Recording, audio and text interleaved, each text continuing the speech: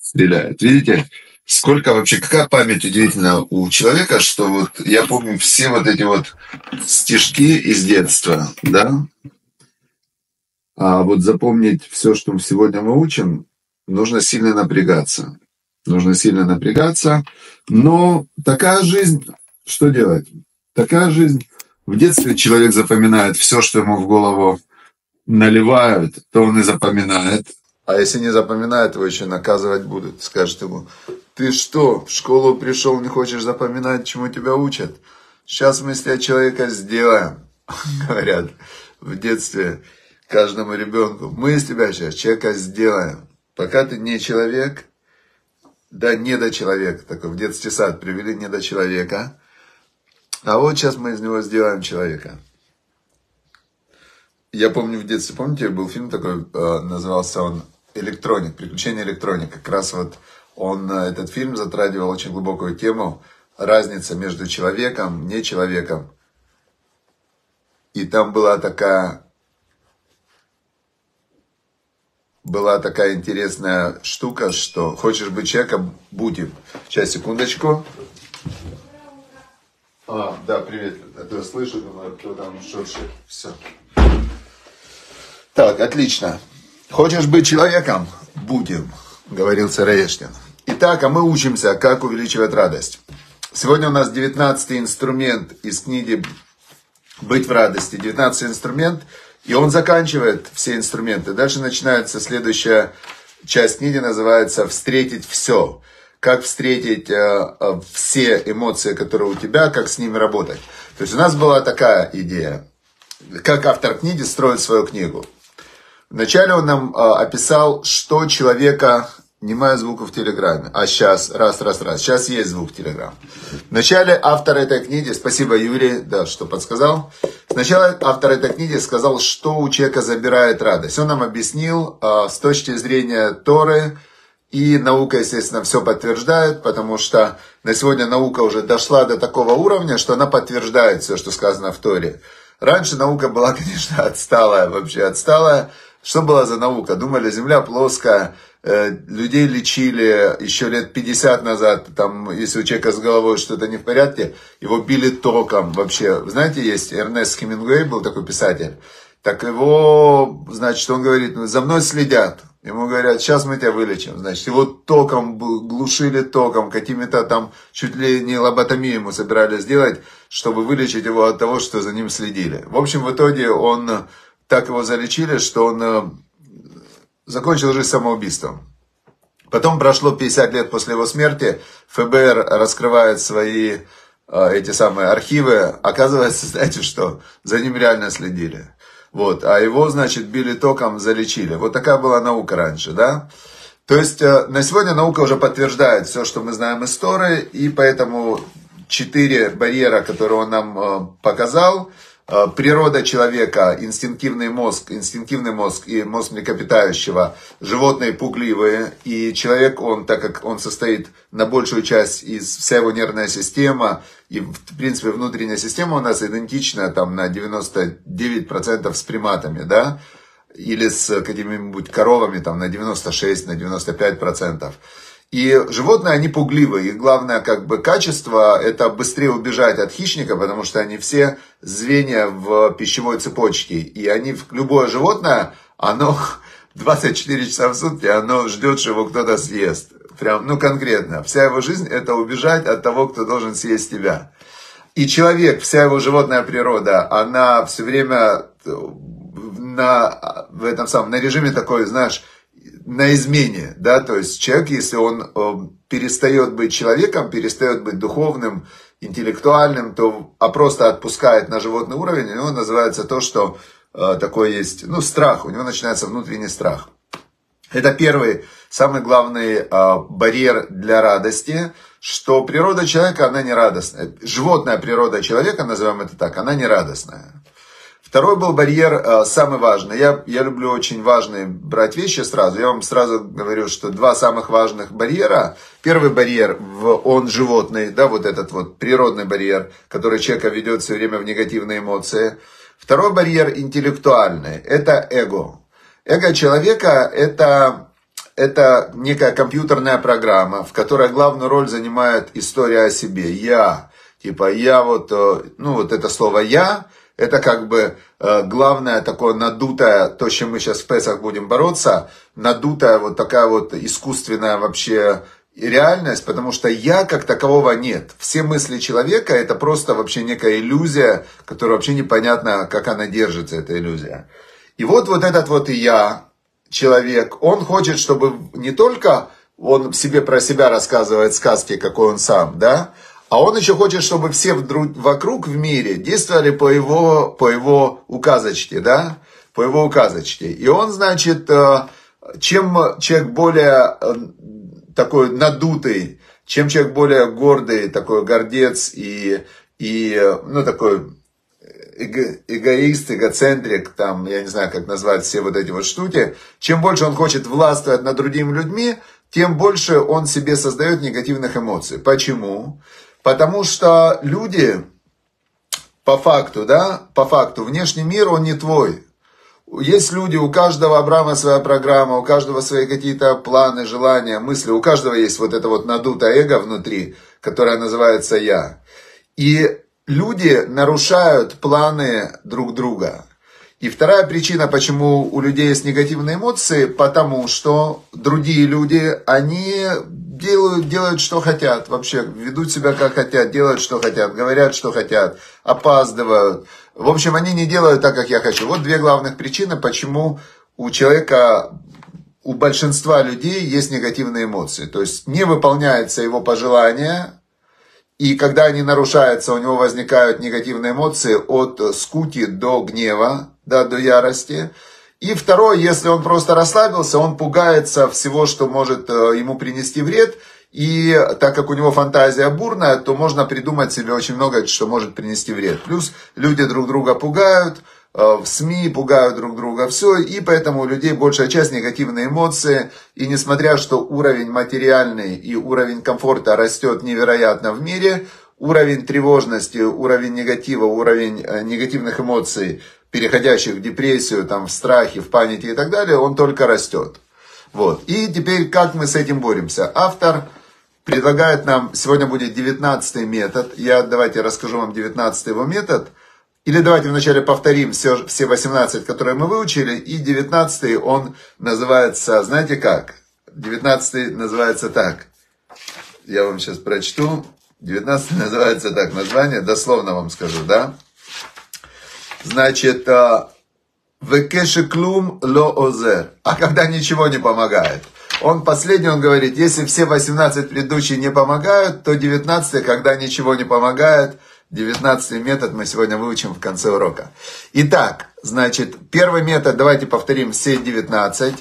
А, все 19 мы повторим. Первый был метод, это принять решение быть радостным. То есть человек, который а, не принял решение быть радостным, а принял решение быть нерадостным, например. Да, вот есть, например, кто-то, есть такие люди, они, они борются, воюют, они там, а, у них решение всем что-то доказать, кого-то там, это их право, да, то есть, ну, оно их, а, эти люди несчастные, можно сказать. Теперь первое, чтобы быть, было больше радости в жизни, нужно принять решение быть радостным. Второе, Второе, шутки. Хочешь быть радостным? Будь им. Ищи шутки, ищи анекдоты, ищи истории, ищи э, какие-то способы, которые тебя развеселят. Как, как э, один приходит к доктору и говорит, у меня депрессия.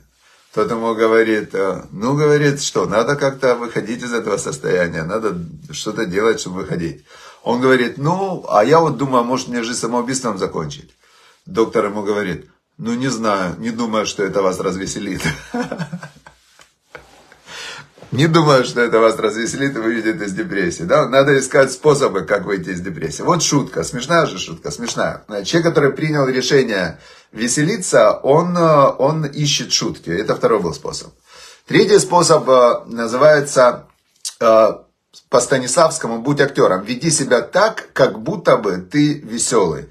То есть у человека есть его внешнее проявление, есть внутреннее. Так вот, доказано, что если ты внешне, Станислав тебе прям актеров обучал, если ты вживаешься в какую-то роль внешне, то внутреннее состояние, эмоция к тебе тоже приходит. Это третий способ. Четвертый способ – музыка, танцы. Я прям сделал себе плейлист, вам тоже советую. Собирайте ту музыку, которая вас включает, танцуйте, двигайтесь под эту музыку. У всех у нас были там песни, которые когда-то нас включали. Значит, я прям ищу эти песни, нахожу, сейчас делаю с э, этот самый плейлист себе, да? Отлично, это был четвертый способ. Пятый способ. Пятый способ называется журнал, жур, капсулы радости он назвал. Можно назвать журнал радости. Значит, вы берете какие-то свои поездки, которые вас радовали, какие-то свои даты, которые вас радовали, какие-то свои личные там спасения, выздоровления, которые у вас были в жизни. И собираете в журнале, собираете вот эти для себя такие вот якорные, радостные даты. И когда вы хотите сегодня порадоваться, вы поднимаете, смотрите, так, сегодня, значит, у меня праздник.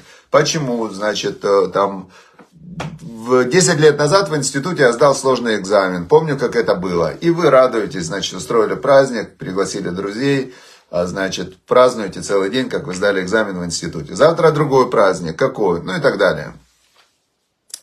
И так дальше. А, значит, э, в, в, в Таня, чтобы надо молиться, чтобы Всевышний дал ему, дал ему полное выздоровление. Надо молиться, чтобы Всевышний дал ему э, силы, э, чтобы Всевышний дал вам силы, чтобы Всевышний дал э, врачам мудрые какие-то действия, да, то есть нужно молиться, просить Всевышнего, благодарить за то, что было до этого, когда он был здоров, и, возможно, вы тогда не сильно радовались, и сейчас можно еще раз поблагодарить Всевышнего, порадоваться и пообещать, что уже дальше вы будете радоваться всегда, если будет хотя бы нормально, то вы уже будете прыгать до потолка от радости. Это был ответ, вот когда действительно что-то происходит сложное, можно ли радоваться? Действительно сложно, очень сложно в таких ситуациях радоваться сама, самой проблеме, но, но страдания могут усугубить.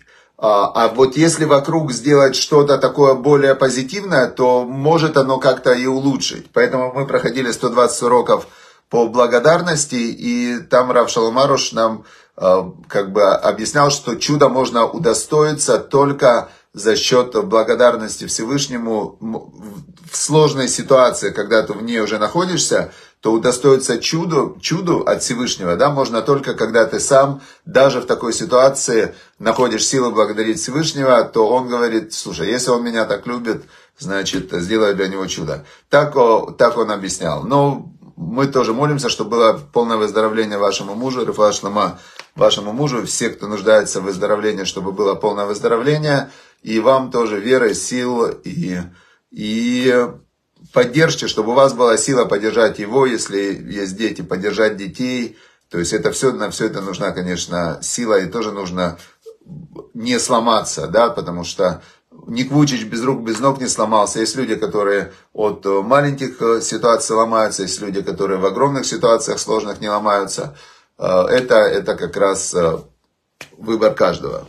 Да, я знаю Раваша Ракушнира, я у него много лет учился, и до сих пор мы с ним общаемся очень хорошо. Хорошо, друзья, все, двигаемся дальше. Значит, четвертое это капсула радости. Мы берем радости с прошлого и переносим в настоящее.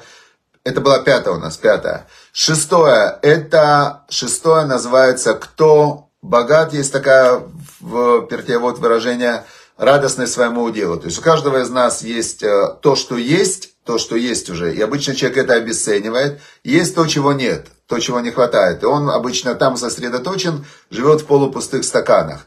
Значит, шестой способ увеличивать радость – это сосредоточиться на том, что у тебя есть, и за все это благодарить, благодарить, благодарить.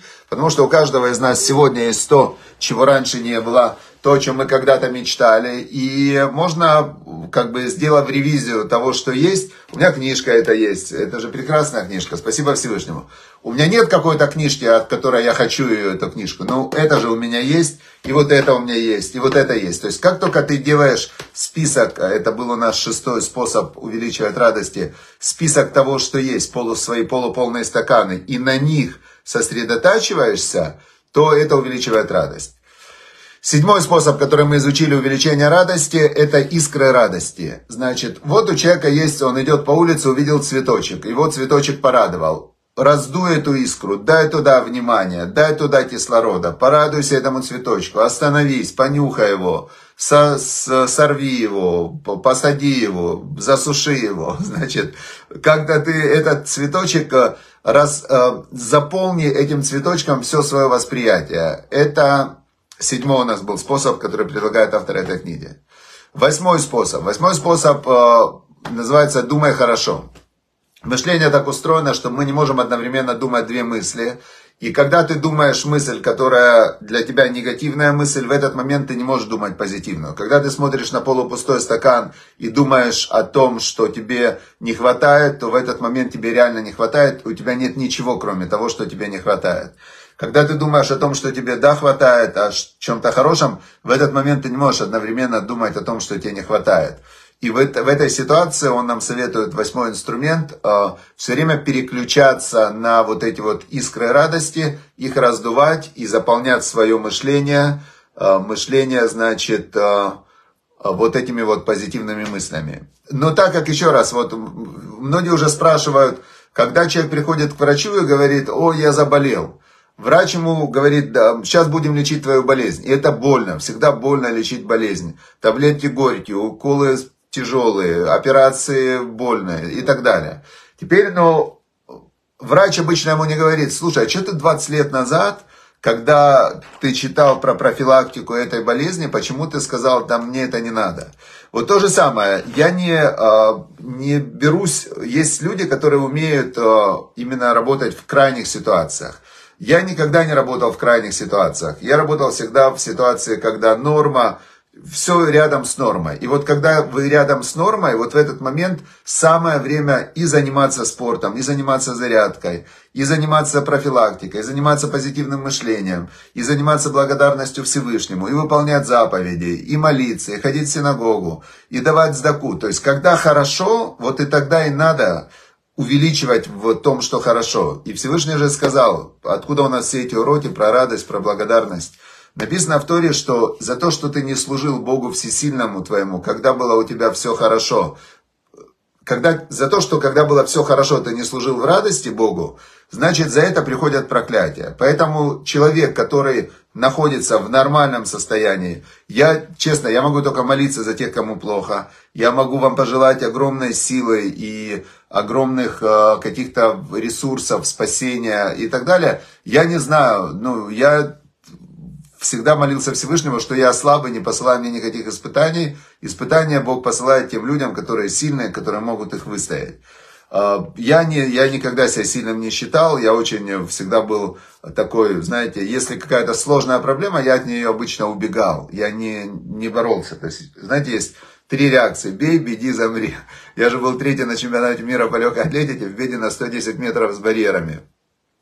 И э, вырос в 90-е годы в тяжелые. У меня была стратегия, ну, то есть, куда, если на тебя толпа, что ты с ней сделаешь?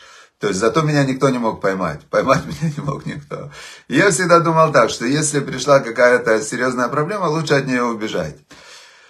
Вот, но когда ты убежал, надо тренироваться и готовиться так, чтобы тебе больше никогда в эту ситуацию не попасть. И вот об этом мы как раз и этому мы учимся, чтобы служить Богу Всесильному, когда все хорошо, с радостью в сердце, но служить, выполнять все, что ты должен выполнять, заповеди, благодарность, молитва, цдака, еще благодарность, помогать другим, то есть заниматься, это называется профилактика. Тебе хорошо, радуйся, не сиди, когда тебе хорошо и не кричи, мне не хватает, а, тебе не хватает, тебе плохо, ты думаешь, что тебе плохо, когда тебе хорошо, Всевышний говорит, ну, придется выполнить твой заказ, на тебе плохо. Раз ты не умеешь радоваться тому, что у тебя есть, так на тебе тогда, то есть ты хочешь, ты все время смотришь, что тебе не хватает. Мне плохо, все кричат, мне плохо, мне плохо, правительство им не нравилось, как здесь было перед 7 октября. То им не нравилось, все им не нравилось, прям вообще такие. Потом бах, война. Или там, я не знаю, та же ситуация в Украине, когда был 2000, по-моему, когда был Майдан, 2000, по-моему, 14 год, да, я жил тогда ну вообще было, ну было все нормально. Не, не хватало, не хватало в ЕС. До сих пор мы не в ЕС, Украина не в ЕС. я гражданин Украины, у меня есть паспорт, все, нету ЕС никакого, да, что не хватало на тот момент, в 2014? Доллар был 8, 8 гривен, по-моему, был доллар. Была свобода, летай, не хочу, все было хорошо, экономика на подъеме, все на подъеме было. Чего не хватало? ЕС не хватало. Значит, все, вот мы с 2014 года, значит, 10 лет уже улучшаем жизнь. Улучшаем жизнь, потому что не хватало, плохо было, было сильно плохо, да? Понятно. Теперь, э, и так в жизни каждого человека. Поэтому мы сейчас учимся, когда все нормально, вот это на этом нормально, нужно так, таким быть счастливым, таким быть радостным, чтобы Всевышний сказал, ну вообще, вот этот молодец, он еще больше радуется, чем я ему даю. Надо добавить, чтобы честно было, надо ему добавить еще поводов для радости. Раз он так радуется, когда у него так поводов особых нету, на тебе, бери вообще полностью, чтобы тебе было все честно должно быть, да, тот, кто ему хорошо, а он не радуется, чтобы все было честно, ему даются проблемы, тот, у кого есть проблемы, но он радуется, у него проблемы забирают. Примерно так работает мир. Хорошо, мы остановились на восьмом, это хорошие мысли вместо плохих. На девятом, девятое это говори про радость. Есть очень интересная такая э, мысль, да, в Торе, что что вот у человека есть мысли, мох, мох это как мышление. Мышление, мох называется мозг на иврите, да? Сехель это интеллект, как у компьютера есть железо, есть программа. Так и у человека есть э, мозг, это как бы, это как, как, как компьютер, железо, а интеллект, знание, это как программное обеспечение. Значит, э, девятый инструмент – это говори про радость. Почему говори про радость? Потому что когда ты какую-то мысль, ты ее где-то поймал, и она у тебя крутится, но она в подсознание не засела, и она не заряженная. Когда ты какую-то мысль проговариваешь вслух, как аутотренинг, да, то она заряжается твоей энергией, и она проникает в твое тело. Поэтому негативные мысли разрушают тело, позитивные мысли, они тело строят, оздоравливают и делают его лучше. Понятно, да? Но их надо именно проговаривать, как аутотренинг, как э, такой самогипноз. Обычно люди себя гипнотизируют. Вот у мамы моей, дай бог здоровья, значит, у нее деменция, да? Она не помнит. Но она, как только у нее чуть-чуть ухудшилась память, она начала прям конкретно себя гипнотизировать. Что-то я не помню, ничего не помню. Я все время, мама, ну ты же все, большую часть ты помнишь. Но, но, значит, э, нет, не помню. И вот она себя уговаривала, что она не помнит. И где-то лет 10 она себя уговаривала, с 70, вот сейчас и 85. С 70 она начала себя уговаривать, к 80 она себя уговорила, что у нее память не помнит она, да. Примерно так происходит у людей, когда мы все время повторяем какие-то негативные выражения о себе, о мире, о людях, то мы, конечно, их заряжаем, эти мысли своей энергией, они утрамбовываются в подсознании и как маяки такие шлют постоянную негативную энергию, которая потом уходит в виде программ в небо и возвращается в виде неприятностей на человека. Поэтому девятое, говорим о радости, говорим о позитиве. Десятое, десятое инструмент увеличения радости по этой книге. Десятый инструмент увеличения радости – это позиция твоя в мире – Значит, первых 10 лет человек находится в позиции ребенка, которому дай. Он считает, что мир, люди, все ему должны. Потом ему пытаются объяснить, никто тебе ничего не должен, ты должен давать людям. Но человек внутренне с этим не согласен. И получается, когда человек внутренне с этим не согласен, что он в этом мире для того, чтобы помогать другим людям, делать добро, э, быть э, несущим свет и радость, он продолжает быть в детской позиции «дайте мне». Но люди-то другие, они тоже в детской позиции, дайте мне. Вот два человека женятся, один говорит другому, дай мне, ты мне должен. Второй говорит, нет, ты мне должен. Зачем я замуж выходил или женился? Чтобы давать? Не, я хочу получать. Все, и оба несчастные развелись. Дальше они влюбляются в кого-то. Вау, три месяца, значит, они только хорошие слова, только позитив. Потом женятся. Ну что, теперь давай, теперь ты мне должен. Второй говорит, я тебе должен, ты мне должен. И опять пошла позиция. То есть для увеличения радости нужно отказаться от детской позиции и стать человеком, который дает, а не который, а не который получает. Да? Вот, вот есть какой-то несчастный купец, который э, живет в своем каком-то иллюзорном мире, купцом себя назвал еще, да, и говорит, что он верит, что в мире есть зло. Пускай верит. Значит, человек, который в мире занимает позицию, что ему должны, он всегда будет недо, недо, у него всегда будет недостача, ему всегда будет не хватать, ему всегда будет, значит, его будут обижать, ему будет всегда казаться, что кто-то у него что-то забрал. А человек, который хочет давать и помогать, ему всегда есть кому давать, кому помогать, потому что, потому что, значит, когда ты помогаешь, причем знаете, что интересно? Когда ты занимаешь позицию давать, то люди, которым ты даешь, они чаще всего на это реагируют как? Они тоже начинают давать. Или ты от них не ждешь, но количество того, что ты получаешь, начинает резко расти. В первую очередь начинает расти радость, когда ты перестаешь ждать от других, что они тебе что-то должны. Дальше, одиннадцатый инструмент. А, одиннадцатый инструмент называется а, все к лучшему. Верит, что все к лучшему. Значит, мы не знаем, как будет. Никто не знает, как будет, значит, но э, есть люди, которые уже сегодня, вот было, например, 1, по-моему, апреля, ну, или 2 э, Израиль уничтожил убийц, э, иранских убийц, бандитов, которые, э, которые где участвовали в создании вот этого вот 7 октября. Ну, убийцы такие, знаете, бандиты, которые не скрывают, что они убийцы, бандиты, и преступники. И Израиль уничтожил с Божьей помощью, слава Богу, спасибо Всевышнему, уничтожил в Беруте вот этих вот убийц несколько. Теперь что получается? Получается с тех пор, с тех пор кто-то живет в панике. Вот уже прошло там 10 дней, и начиная с первого дня были люди, которые впали в панику. Почему? Ой, будет плохо, ой, будет плохо, ой, будет плохо, ой, будет плохо. Журналисты пишут, будет плохо, все пишут, э, ну, люди негативщики, да, будет плохо, уже 10 дней. Те, кто верят, что все будет плохо, они 10 дней уже в панике. Те, кто говорят, с Божьей помощью все будет хорошо, они 10 дней в вере, что все будет хорошо. Теперь, если э, я верю, что будет хорошо в любом случае, в любом случае, что бы ни было, все будет хорошо. Все, это у нас одиннадцатый был инструмент, который увеличивает радость, все, что Бог делает, все к лучшему. Двенадцатый инструмент. А, значит, 12 инструмент, когда как раз это был ответ на вопрос, а, а, ситуация, когда в данный момент что-то плохо. Оказывается, в данный момент из теснин происходит, происходит самое большое развитие. Значит, есть известная такая фраза, что кризис в китайском языке записан двумя иероглифами. Один обозначает опасность, другой благоприятная возможность. Автор книги, которую мы изучаем, автор книги, значит, которые, которые мы изучаем, он говорит, что ситуации, когда происходит какое-то сильное сжатие, оттуда происходит и спасение. Кто в это верит, тому даже в момент, когда сильное сжатие, значит у него уже есть вера, что не просто все будет к лучшему, а все будет очень хорошо, как говорил какой-то из философов, что то, что нас не убивает, делает сильнее. Говорил он, чтобы показать вот этот вот момент – что действительно из сильного сжатия тот, кто проходит, тут есть, знаете, простой есть психологический эффект.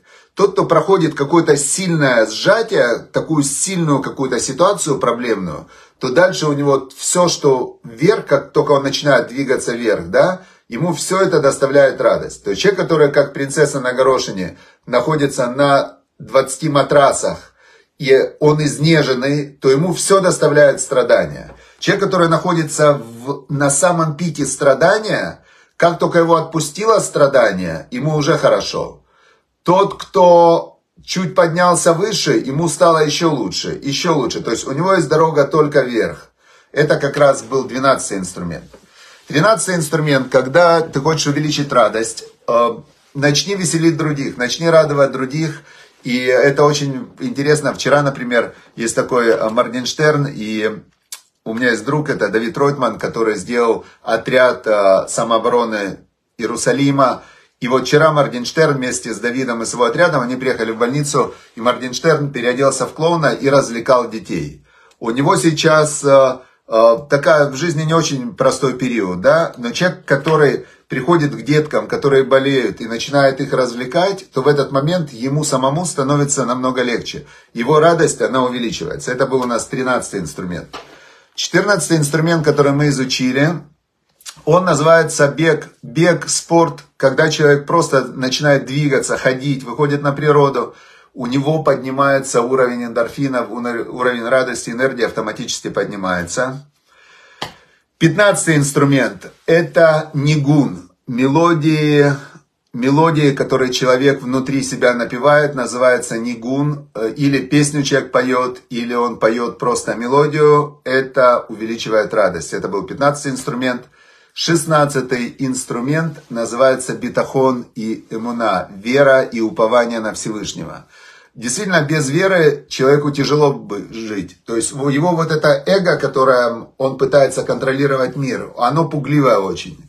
И он понимает, что по факту он не контролирует ничего. То есть человек, он мелкий такой вот э, маленький пузырик такой, да, который, который, вот этот вот пузырик, который пытается там что-то о мире говорить, еще о чем-то, но он ничего не знает. И, ну, даже самые вот такие были раздутые там, Александр Македонский, Гитлер, чтобы стерлось его имя.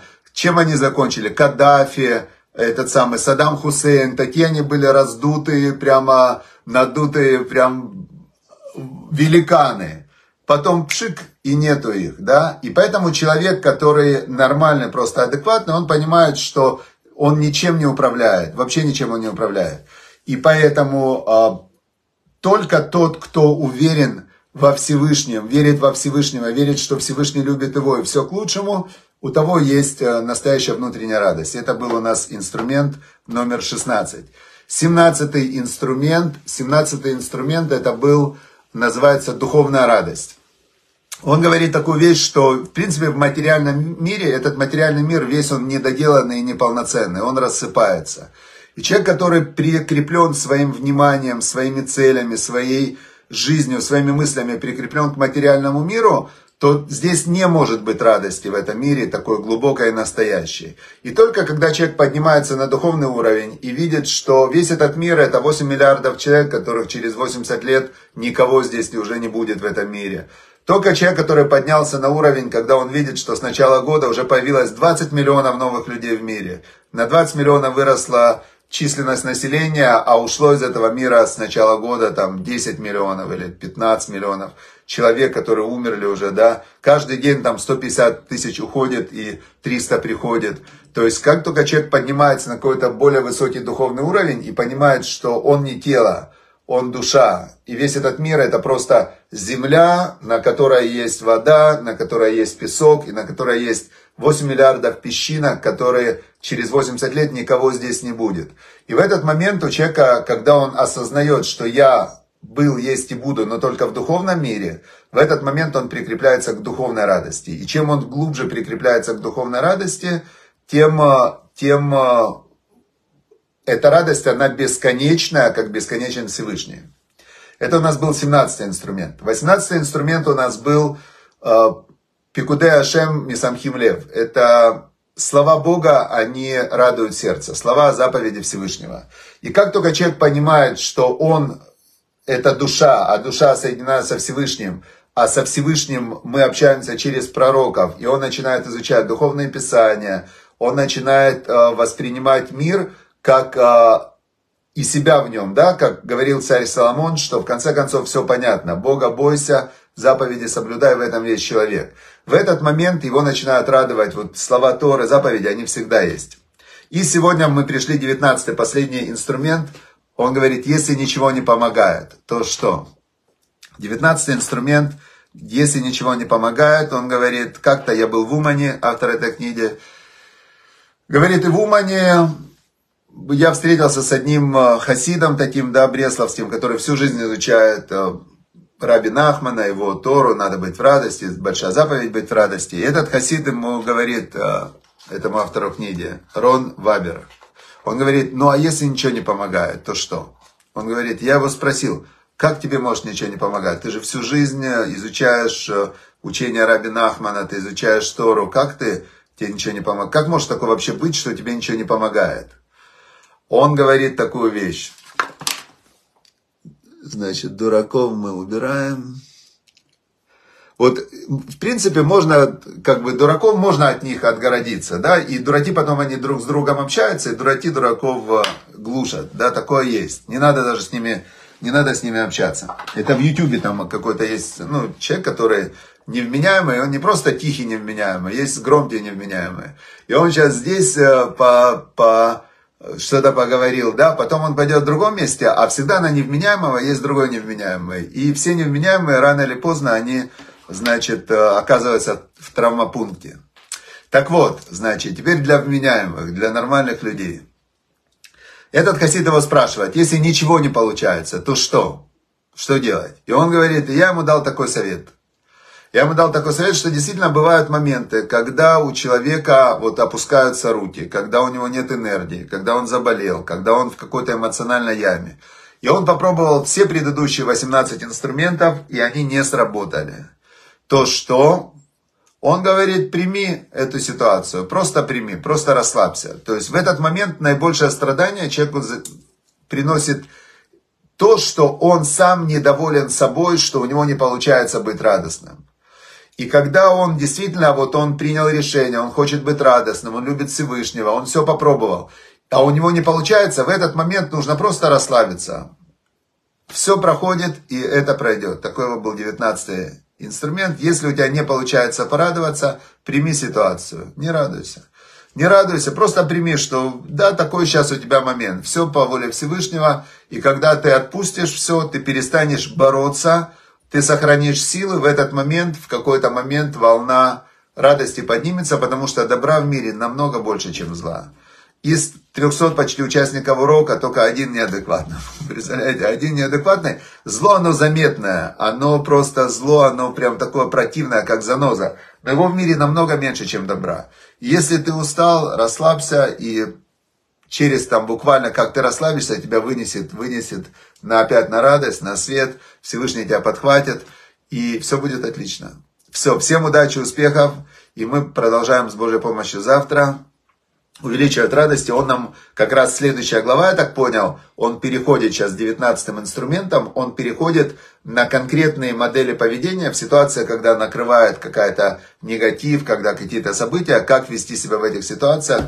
Мы начнем завтра изучать следующую часть в этой книге. Я решил, что мы ее закончим, потому что очень правильно в жизни начинать, заканчивать вещи, быть а, быть э, таким спокойным, спокойным. Все же отлично, слава Богу. Все, удачи, успехов, хорошего дня благополучия, выздоровления, здоровья, счастья, богатства, все, что кому нужно, чтобы Всевышний дал. И, но самое главное, то, что я всем желаю и себе, чтобы мы умели благодарить и радоваться за то, что Он уже нам дал. Уже нам дал, Он нам дал много всего. Все, удачи, успехов, счастливо.